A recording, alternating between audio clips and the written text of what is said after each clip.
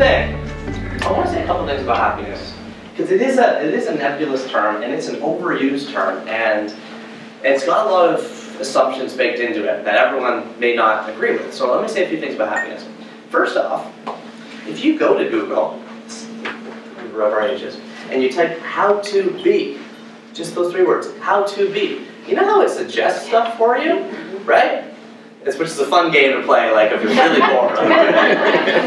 um, but if you type how to be, the first drop down is happy. But we want to prove that point. Okay, so what did I do for the book? Well, I sifted through over 300 positive psychology studies. Positive psychology is a new emerging field of psychology started 20 years ago by Martin Seligman and Mihaly Csikszentmihalyi um, down in Pennsylvania. And the body of research is emerging and exploding very quickly.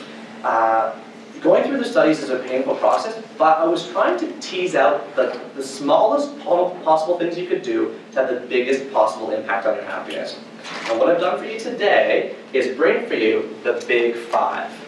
Neil had a lot of interesting little suggestions for the small things that you can do that form useful habits, which if you do every day, um, lead to a net result much happier life. I'd almost characterize them as the little 1% things that add up to like a 50 or 100% difference.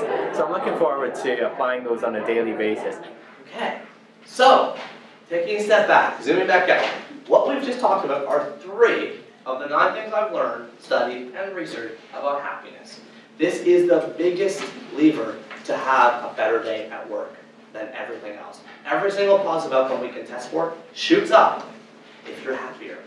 Productivity goes up 31%, sales go up 37%, creativity goes up three times. It's something we all want in our lives, in our teams, in our homes, in our workplaces. How do you get there? First, you be happy at the beginning, not at the end. You invest in it with a daily practice that only takes 20 minutes. Then you create space in your life. What can you automate and regulate and effectuate to make room for the big decisions that matter? And when you face those big decisions and you bump up against the marathon you want to run or the presentation you want to give at work or whatever it is, you just do it. You put action in front of motivation to trick your brain into thinking you already